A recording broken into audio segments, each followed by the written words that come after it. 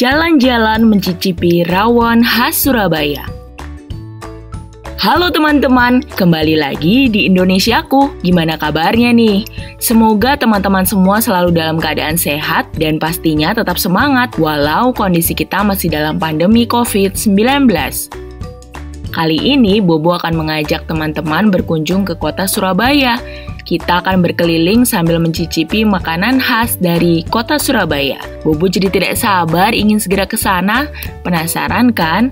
Yuk kita mulai jalan-jalan ya. Oh iya, episode ini sudah pernah tayang di Kompas TV pada 8 November 2018.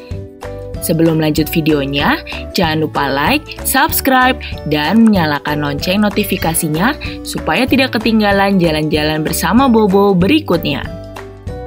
Surabaya merupakan kota terbesar kedua di Indonesia setelah DKI Jakarta. Surabaya juga terkenal sebagai kota pahlawan karena sejarahnya saat perjuangan are-are Surabaya dalam mempertahankan kemerdekaan bangsa Indonesia dari serangan penjajah. Bila mendengar kota Surabaya, makanan apa yang langsung teman-teman pikirkan? Betul, rawon dan lontong balap. Yuk kita berkeliling mencari makanan khas Surabaya satu ini. Rawon merupakan hidangan daging berkuah yang berwarna hitam. Warna hitam ini diperoleh dari keluak atau kepayak. Karena itu, makanan ini juga disebut sebagai black soup. Nah, ternyata ada banyak versi sajian rawon yang ada di Surabaya.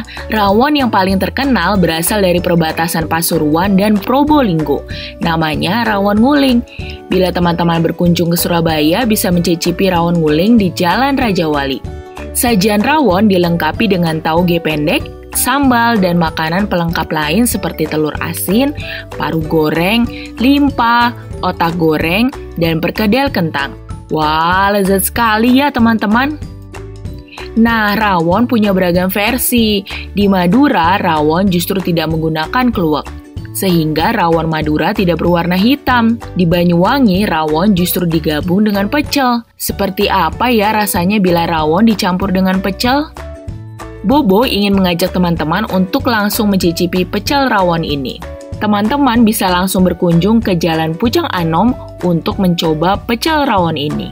Eits, tapi jangan salah, karena makanan ini baru buka pukul 9 malam sampai 4 pagi. Pecel rawon juga disajikan dengan beragam lauk lain seperti tahu, daging, telur, dan ayam. Pecelnya juga tetap disiram dengan bumbu kacang dan diberi topping peye. Gabungan pecel dan rawon ini ternyata berawal dari keisengan pembeli menggabungkan dua makanan tersebut. Nah, ternyata keisengan pembeli ini menular pada pembeli lainnya, sehingga makin lama makin banyak deh peminatnya.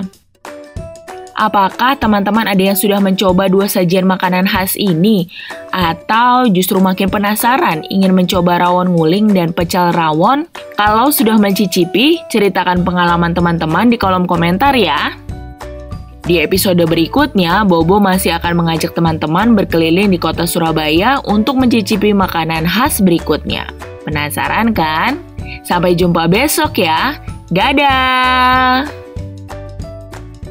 Teman-teman, jangan lupa kunjungi website untuk anak ya, bobo.id. Like, comment, share, dan subscribe juga ke channel Bobo yuk!